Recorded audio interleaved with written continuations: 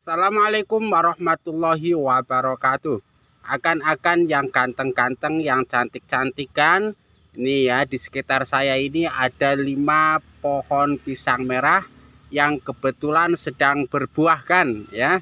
Sekarang mari kita lihat kira-kira hama apa saja Atau tanaman apa saja yang biasa mengganggu pisang merah. Nih Ini pohon pisang merah yang pertama ya Nah, pohon pisang merah yang pertama, itu fakta ya pisang merah.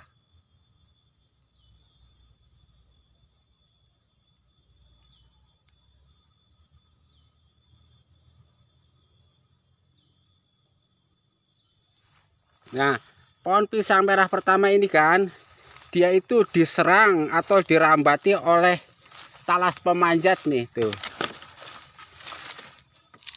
Ini dia tuh aslinya di bawah kayak gitu ya.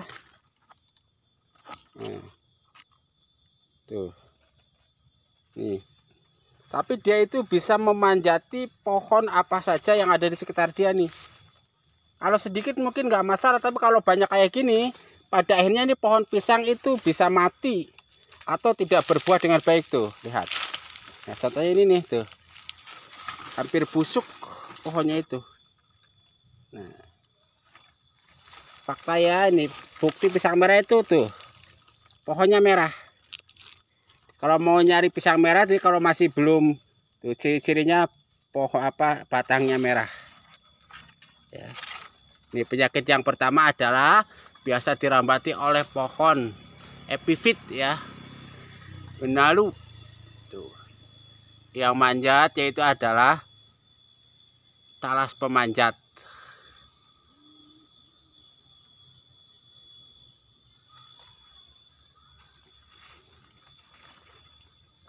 Baik, selanjutnya mari kita ke pohon kedua kan. Dia pohon kedua selamat apa enggak? Ada gangguan enggak pohonnya? Hati-hati, mudah-mudahan enggak ada masalah. Baca doa. Angul tubi kalimatillahi tamat min syarri ma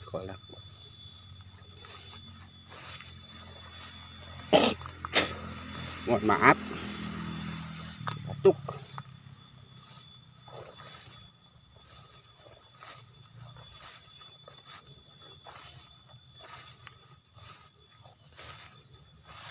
Nah ini pohon kedua nih.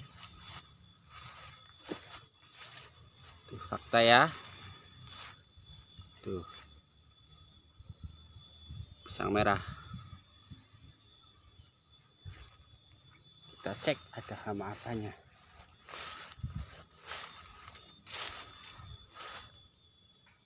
Nah ini di pohon kedua ini dia itu diserang rayap kan tuh setelah tadi dia diserang tumbuhan karena itu hewan rayap. Fakta ya. Ciri-cirinya ini yang masih kecil ya coba merah enggak? Tuh. Tuh ya fakta ya yang masih kecil juga merah. Jadi akan-akan kalau mau nyari pisang merah kebetulan belum berbuah ini bisa lihat dari batangnya merah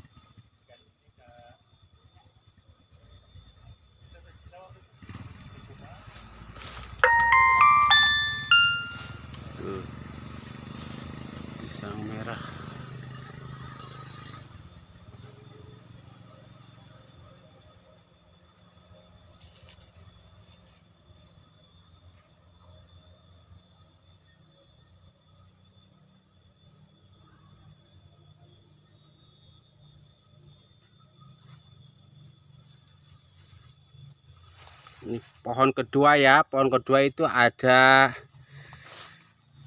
rayap ya sama ada laba-laba juga. Laba kecil.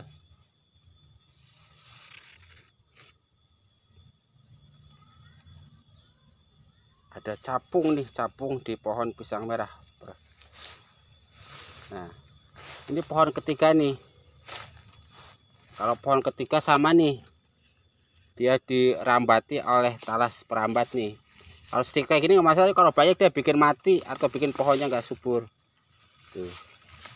Dia juga ada rayap ya. Tuh. ini pohon harendong nih. Bisa buat obat buahnya juga enak dimakan.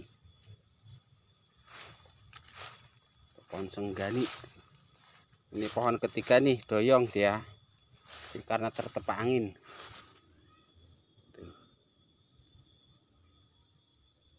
fakta tuh ya pisang merah.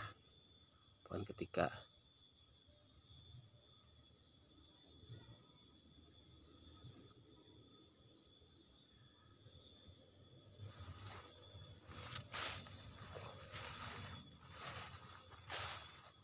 Coba di sini. Kalau ini mulus kayaknya nih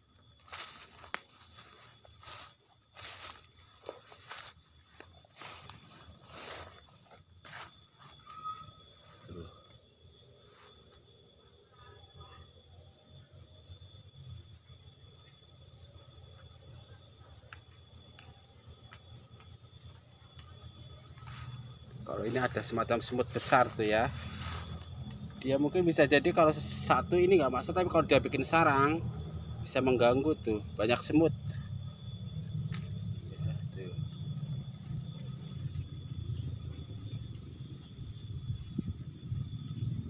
Jadi tadi nih ini masih sedikit nih. Nanti kalau banyak dia bisa mengganggu pohon.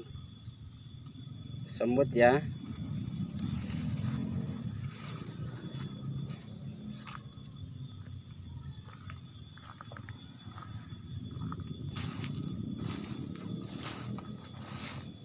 apa nih?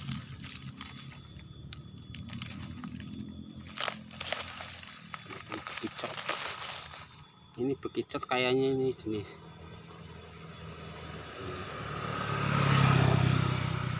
Bulat sayap ini pohon kelima ya